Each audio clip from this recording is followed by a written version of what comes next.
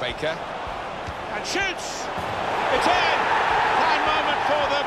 They've got a firmer grip on the game